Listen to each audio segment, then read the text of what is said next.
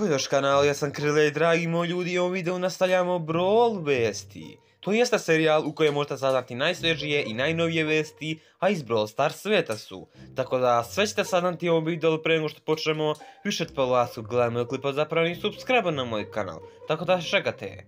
Ostavite like, subre su besplatni, a pa ovo vam postanete dobri ljudi. Tako da, dragi moji ljudi, neće vas smaram, krećemo odmah.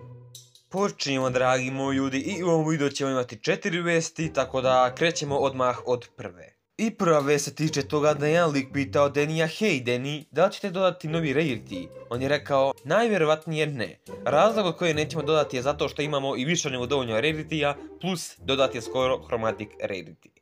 Dragi moji ljudi, iskreno Deni je u pravu, već imamo Chromatic krediti, imamo toliko reditija koji čak nisu dobili novog brawlera odavno, tako da stvarno ne vidim svrhu novog reditija, idemo dalje. Druga vest se tiče toga da jedan lik pitao Franka, hej Frank, da li planirate da banujete u budućnosti neke brawlere za određene game modove? On je rekao, verovatno. Znači, dragi moji ljudi, razlog zbog kojeg bi se to moglo desiti je zato što jednostavno imate neke brawlere poput Byrona. Ako ih nerfijete, uopšte ne valjaju. Ako ih buffujete, OP su. Jednostavno, takvi brawleri će morati biti banovani za određene game modove.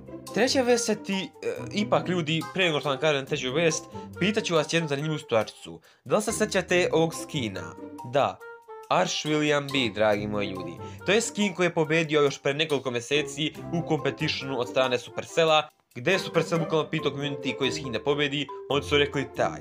E sada, neki ljudi se pitaju, ako je taj skin odavno pobedio, zašto ne dođe u igru? Te to pitanje jedan lik imao i za Franka, na šta mu je Frank odgovorio, ne, nismo zaboravili Ash William B.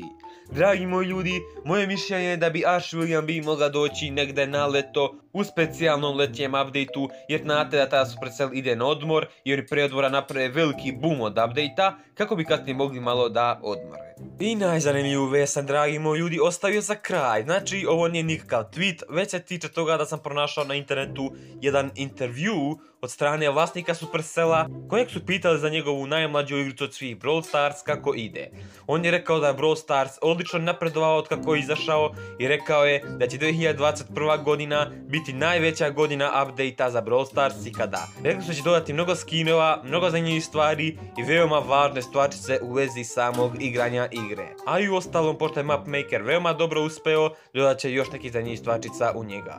Sve u svemu, dragi moji ljudači, rekao će biti velika godina za Brawl, a najviše mi je ušlo u oči ovo social play ili ti varne stvarčice za igranje. Vjerojatno znate, dragi moji, da je Supercell još u oktobru počeo da istražuje jednu zanimljivu stvarčicu koju bi trebali da nazovu Club Wars. Dragi moji ljudi, ja se nadam da ćem na leto ove godine konačno dobiti taj Club Wars koji će dići Brawl Stars do samog vrha vrhova.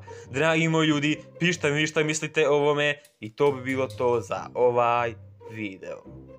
Tako da, dragi moji, kao bilo sad za video, ja znam se svi vam bio zanimljiv ako jeste. Ostaje lepi like, subscribe se na kanal i uključite zvonce ne puti naredni video. Tako da, to je bilo sve za video, a mi se vidimo u nekim od narednih klipova. Pozdrav dragi moji ljudi.